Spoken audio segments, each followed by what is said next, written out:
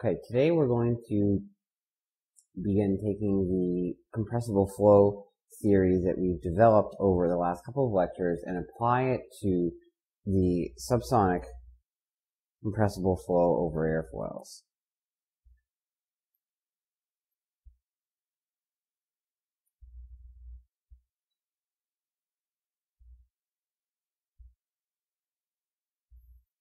So this is Anderson 11.1 to 11.3.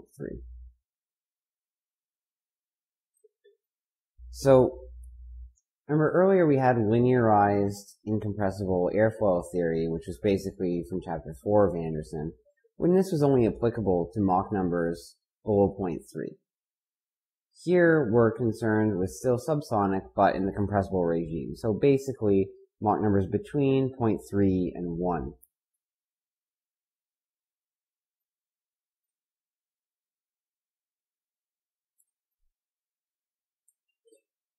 Now, to begin, let's go back to the concept of the velocity potential.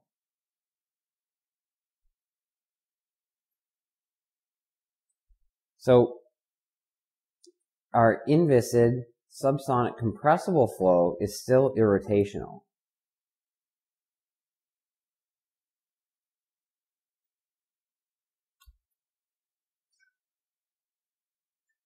So we can define of velocity potential. And our flow is also isentropic. So if we define our potential, talking about flow over airfoil, so this is in two dimensions,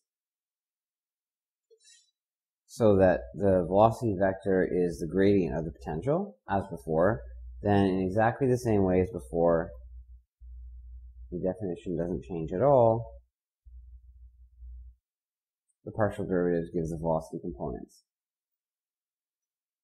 But now, in order to develop an expression for the potential, we'll need to consider mass conservation or the continuity equation, momentum, and the energy equation as well.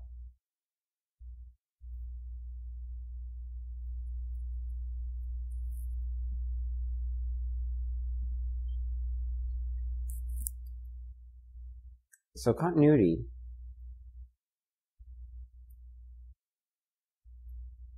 gives d rho u dx plus d rho v dy equals 0.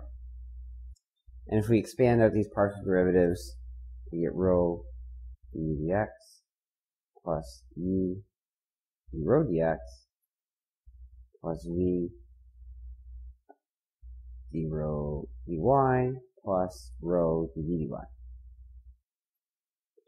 Now, if we take the definitions of the velocity components in terms of the potential, we can write this as rho uh, times the second x derivative of the potential plus d3 dx d rho dx plus d dy d rho dy plus rho d squared c dy squared equals 0. And if we group that together, we can just write it this way.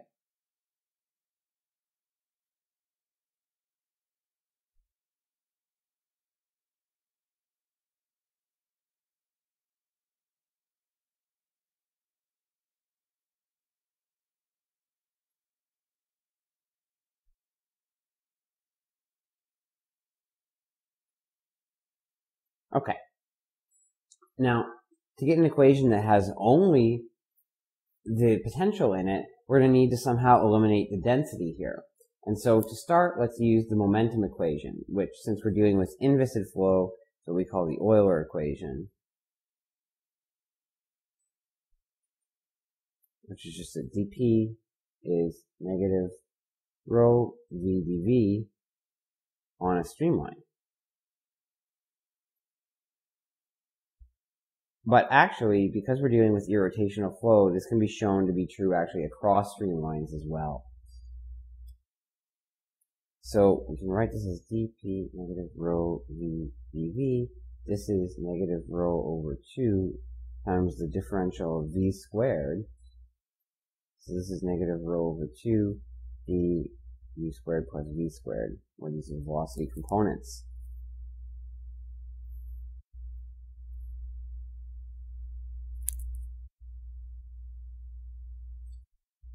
So then p is negative over 2 times the differential of, now we can write this in terms of the potential and say this is the pdx squared plus dpdy squared.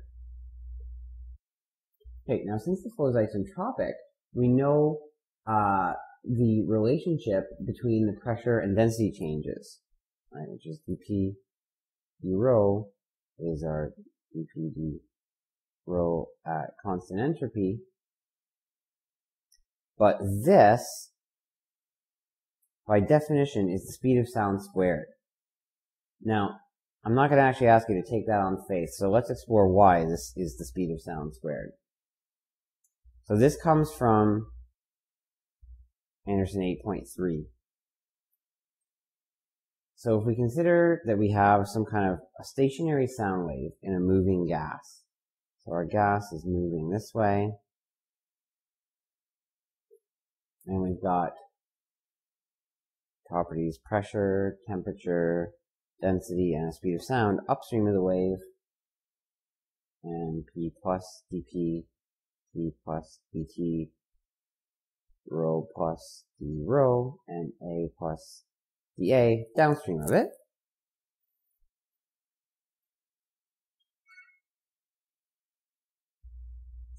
then we define a sound wave as a as a weak wave. So so dp, d rho, and all these changes are small, and also the flow is adiabatic. So it turns out that what this ultimately means is the flow is actually isentropic, and indeed in this case one dimensional. So continuity then gives us this that rho times a is rho plus d rho, or this is sorry a, the speed of sound is also the velocity of the fluid here. So this is just a sound wave, um, take uh, motion of a sound wave in the reference frame of the sound wave itself.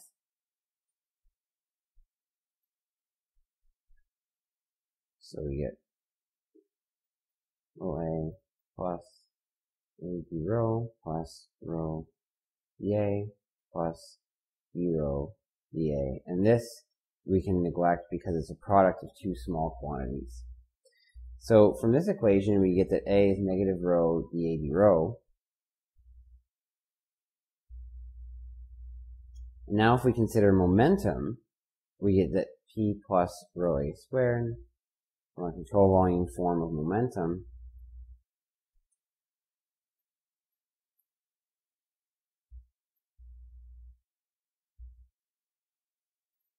Now, again, if we ignore the product of differentials when we work out this multiplication, what we get is that dA is minus 2a rho dA minus a squared d rho. And if we isolate for dA, we can get the dA is dp plus a squared d rho over negative 2a rho. Now, if we put that back into our equation for the speed of sound, here,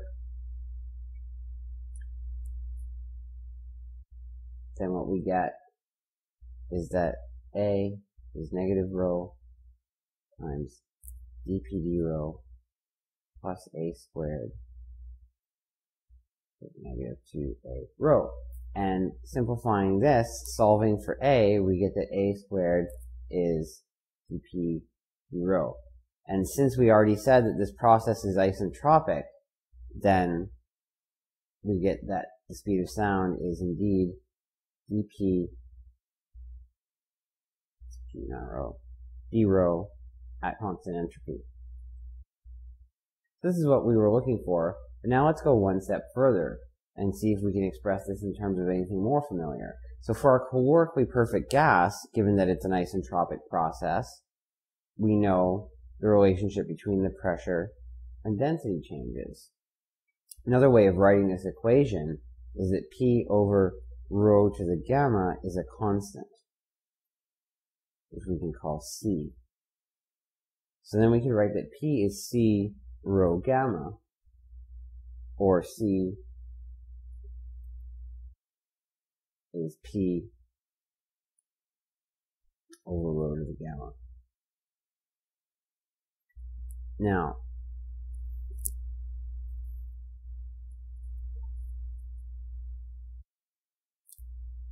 then we can write